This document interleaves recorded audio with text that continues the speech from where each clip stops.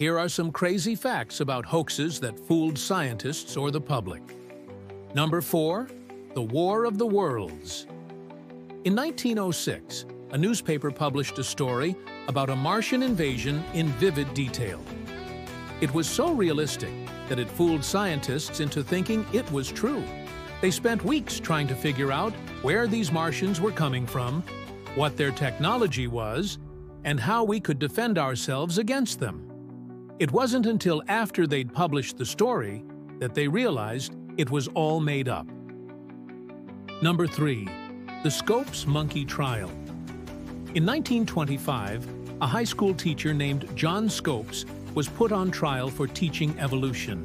The trial was a huge media circus, and Scopes became a national celebrity. However, after he was found guilty, he was never actually able to teach again and the whole thing was a hoax.